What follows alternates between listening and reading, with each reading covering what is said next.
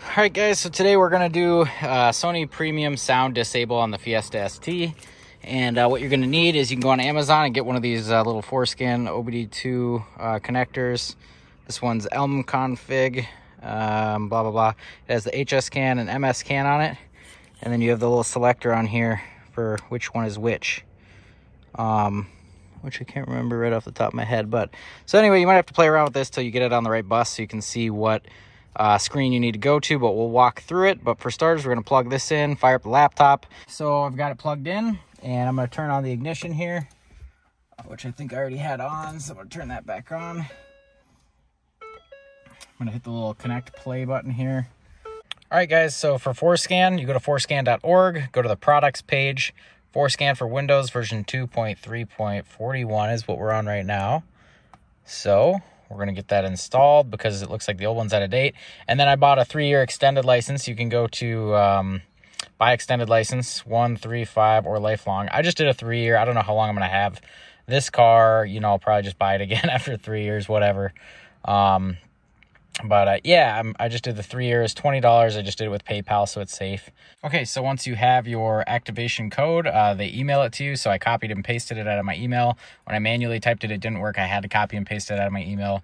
But now it says that I have the extended license registered to me um, and the date that it's good till. So that's awesome. So next thing we're going to do is go to the top left here uh, where this little car is with the eye on it. And we're going to go to connect to a vehicle. Okay, so once you have your extended license going, uh, make sure the switch is in the right position. It's going to say, like, once you've connected a few times, it does this little, hey, do you want to actually do whatever? Do you want to load the old account? And you say no every time. So right now it says, do you have the switch? Yes, I do have the switch. I'm just going to say yes to both of these. Please put it in the MS CAN, hit OK. So whenever it says this, would you like to save the profile? You can, but when it asks to use it, it'll only reconnect to the PCM, not OBD2 and uh, FCIM, OCS, ABS, RCM, all that stuff. so I'm just going to hit no. Do you want to save the profile? No. And, and I'd save it the first time you do it, just when it asks you to use the old one, say no.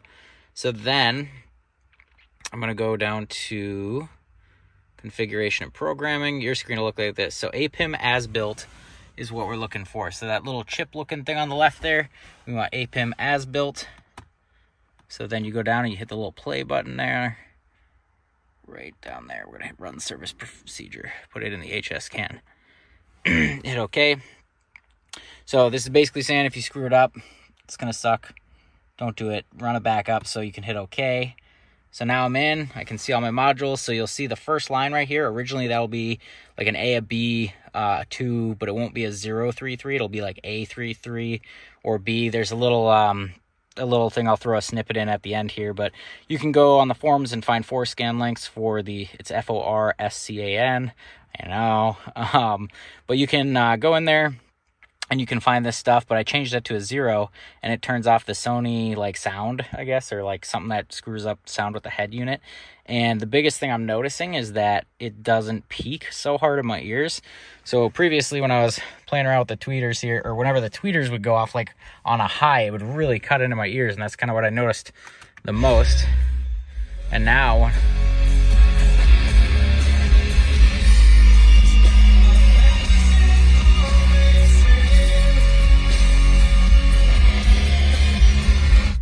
Leave home alone.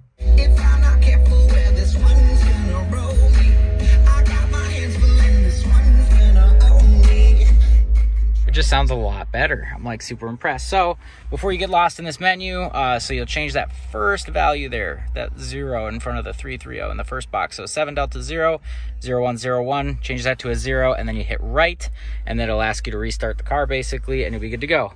Uh, one little bonus, there's all sorts of stuff you can do in here. Um, I haven't been able to figure out the double honk on the Fiesta. I haven't got it to work, but basically you can go back up to DCTs, uh, DTCs, um, and you can see your uh, your engine codes here um, if you feel so inclined. So I disabled my TPMS sensors because I live in Minnesota and they go off all winter. And that's another thing you can do in here in Forscan. And if you'd like to see a video on how to do that, I'd be happy to show you. Uh, just remember, anything you do in here is completely your responsibility. You're going to mess with safety settings. Um, you can do a lot of things in here that are pretty sketchy. So don't go in there and just start playing with values and hit a one and hope and hope and then blow your airbags in your face. Um, be safe with this. Um, it probably will void your warranty because you're flashing your module. Um, I haven't heard anything bad with them updating. I don't really know, but uh, for me, this is my play car. It's already out of warranty. I don't care. So, famous last words. But it's warm, um, and I'm done. So, if you have questions, I changed this to a GT boot screen logo. That's just a little bonus thing you can do. Let's see if I get that to kick off here.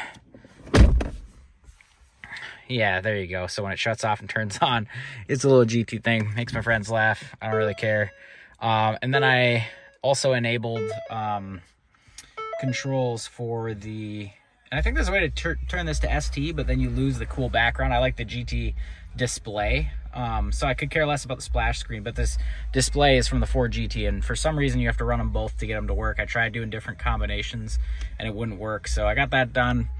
Um, yes, please, that'd be great. So yeah, so I've got this display here. I made it so that I can have HVAC controls on the screen. Not that it really matters, they're right below here, but it keeps my eyes up on the road when I'm messing around with that, so I like it. Um, and then I just disabled Sirius XM radio, which is nice to get that little tab off there to free up a spot because I hated XM. I don't care for it at all. I'm usually driving with my phone plugged in anyway. But there's a lot you can do with Forscan. I hope this video helped. And if you got confused, feel free to ask, but start on the forums. They're very helpful. You can get a two month free license, uh, extended license. If you don't have that extended license um, that I got for uh, three years for $20, then there's a lot you won't do. You will not be able to get into the APIM and change this. So you do need an extended license. I think you should just buy one. It's totally worth it. And after you do one thing in here, you're going to want to come back and play with it more. Uh, this is Eric We Got Performance. And if you have questions, drop me a comment. And if I missed anything, feel free to let me know.